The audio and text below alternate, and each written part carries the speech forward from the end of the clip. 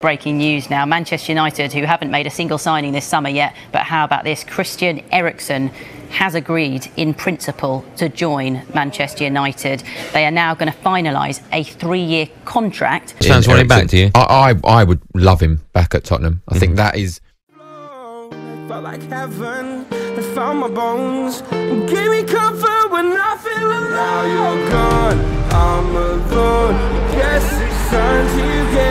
the pain, I will go alone. If I fall, break my bones, I will scream even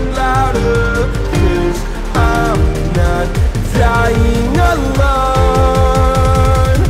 I went through hell, stared at death. But I keep fighting with each living breath. I saw no way out from where I stood. Felt like the fire